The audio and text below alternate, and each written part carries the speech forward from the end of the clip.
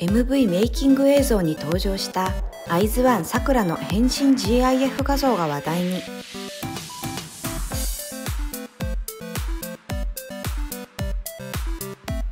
ガールズグループアイズワンの活動ビハインド映像に登場したメンバー宮脇さくらの GIF 画像が韓国のオンラインコミュニティに掲載されネチズンの注目を集めている。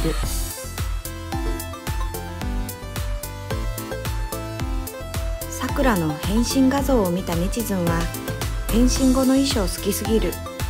さくらかっこいい。ウエスト細すぎる。